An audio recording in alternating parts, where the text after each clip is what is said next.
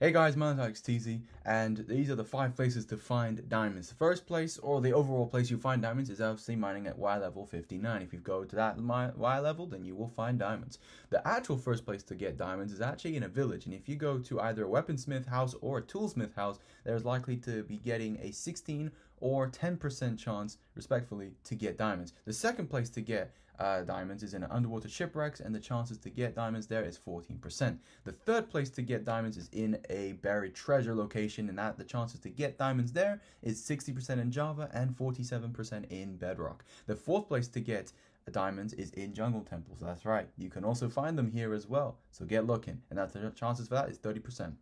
Uh, the fifth and final place to get diamonds is in a Bastion Remnant, and the chance of getting that is 16% in both versions. So, guys, I hope you found this video informative. Feel free to subscribe. Don't forget to take it easy, and peace.